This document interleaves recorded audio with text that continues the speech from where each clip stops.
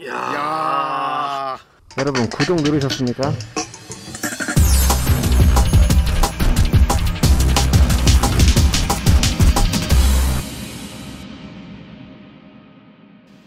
안녕하세요. 요리나무 채널입니다.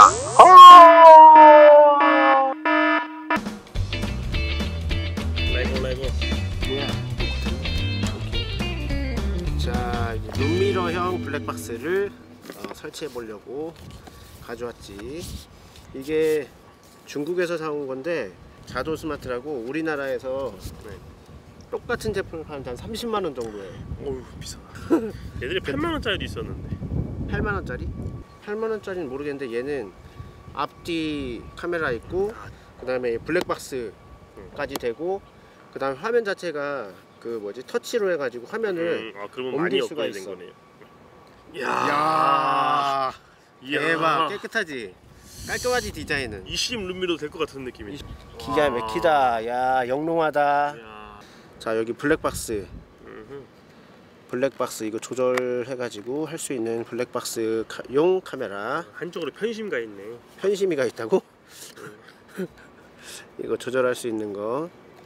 그리고 이거는 기존 룸미러에다 걸 수 있는 그 걸쇠 고무줄로 고무줄 같은 걸로 이렇게 걸 수 있게 돼 있고 상단에 그 메모리 카드 꽂을 수 있는 부분 그리고 여기에 이제 GPS 뭐야 어 GPS. 망아져 있네 안테나 끼는 거죠 안테나 GPS가 안 된다는 소리는 그리고 AV-인 이거는 아마 후방 카메라 용도일 것 같고 그래서 이거 후방 카메라 자 이렇게 해가지고 일단은 본체를 그냥 연결해 버릴까 그냥 요런 거 하나 찍으면 끝이야. 손으로 잡아 뜯으면 되니까 땡겨.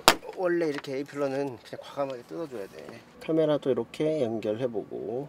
오 화면 나왔어. 화면 나오죠 터치하면 이렇게 화면 움직이죠 전원으로 가는 부분은 A필러를 타고 이렇게 밑으로 이렇게 내려와야 되고 기존 선 응용해서. 자 전원 설치 끝났죠 실내로 들어가는 천장 케이블 완전히 이거 뭐돈 버는 거죠. 사이로 싹 가가지고. B필러 뜯기 힘든 분도 대충 그래, 이렇게 그래 쓰시면 됩니다. 대충 대충. 아유 들어가면 됐지 뭘어 비필로 안 뜯고 통과됐어. 그렇죠. 대박. 아 지금 이 선이 지금 너무 꼬였어. 아 미치겠네. 아 아예 끓을 때 처음에 좀 조심해서. 꼬일 대로 꼬였네 아 처음에 좀 조심해서 부를 걸 그랬어. 대충이 부른 참사네 그래. 아 영상 무슨 없어 블루투스 아 진짜 시대가 어느 때인데 블루투스로 대충 하면 얼마나 좋아. 아니 그럼 이거를 플러스에다가 후진 등이 후진 등이 아, 맞네. 후진 등 예, 후진 등 연동이네. 플러스 아, 너무 땡기면 안 돼. 땡기면 땡기면 땡기면 안 돼.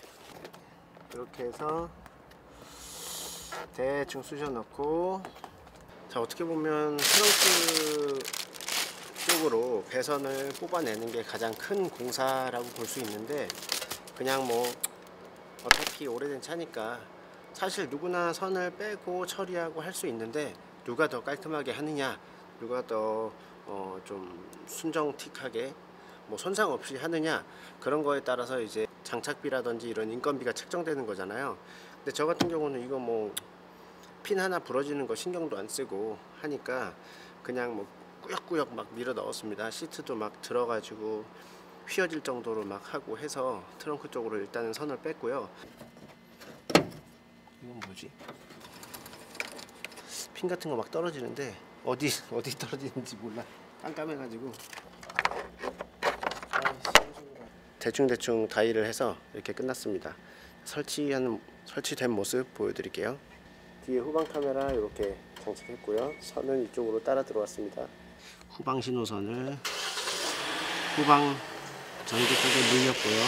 그리고 선이 이렇게 실내로 유입되는 선은 이렇게 안쪽으로 해서 실내로 들어갈 수 있도록 했습니다. 아무데나 설치하면 이렇게 어, 후방 카메라가 기본적으로 들어옵니다. 마치 거울을 사용하는 것 같은 그런 효과를 볼 수 있고요.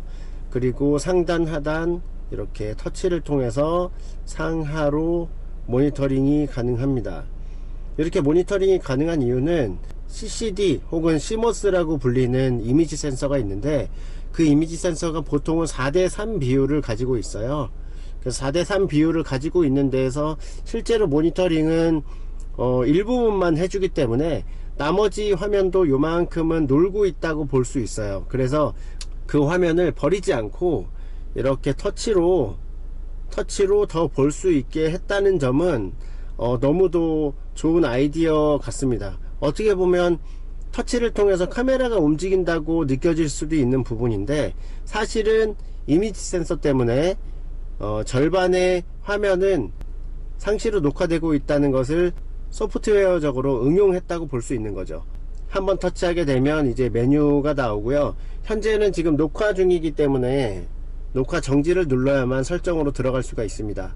뭐 이 메뉴에서는 음성을 녹화한다든지 음성을 끈다든지 할 수가 있고 녹화했을 때 그 파일 자체를 어, 삭제되지 않도록 설정하는 그런 기능이고요. 화면 전환을 통해서 전방 카메라로 전환도 가능합니다. 이 화면 자체도 조금 전에 말씀드렸듯이 이미지 센서가 4대3 비율이기 때문에 이미지가 이만큼 있다고 볼 수 있고 이것 역시도 상하로 눌러서 조정이 가능합니다. 좌우로 움직여서 밝기 조절을 할 수 있어요. 이런 식으로 밝기 조절이 가능합니다. 밝기 조절 같은 경우는 녹화가 되고 있는 상황에서는 즉각적으로 반응하진 않습니다. 근데 녹화를 꺼놓고 이렇게 녹화를 꺼놓고 밝기 조절을 시도하게 되면 이렇게 반응이 됩니다. 이 밝기의 강도가 조금 아쉬운 부분이 있어요. 난반사로 인해서 화면이 잘 안 보이는 부분 그런 부분을 해결하지 못하기 때문이죠. 그 잘 안 보이는 이유를 제가 곰곰이 생각을 해봤더니 이 부분이 거울로 되어 있잖아요. 거울 화면으로 되어 있고 그 뒤에 모니터가 있는 형태이기 때문에 밝을 때는 잘 안 보이게 되는 그런 효과가 있는 것 같다는 생각이 들어요. 어, 잠깐 주행을 해봤는데 조금 뭐라고 할까 어지럽다고 해야 되나?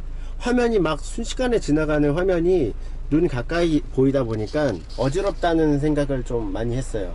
그래서 이게 실제로 사용할 때는 조금 꺼지는 중간에 탁탁 한 번씩 꺼지는 게 필요할 것 같습니다. 그리고 특수한 차량, 특수한 목적의 차량, 박스카가 되든 렉선 스포츠의 적재함을 사용하는 차량이 되든 그런 차량에는 효과적일 거라고 생각도 들고요. 차선 이탈 경보가 되어 있어 가지고 이걸 설정을 하게 되면은 차선을 밟는다거나 할 때 경보음이 울려져요. 근데 이게 생각보다는 정확하진 않고 조금 시끄럽다고 해야 되나? 그래서 꺼놨습니다.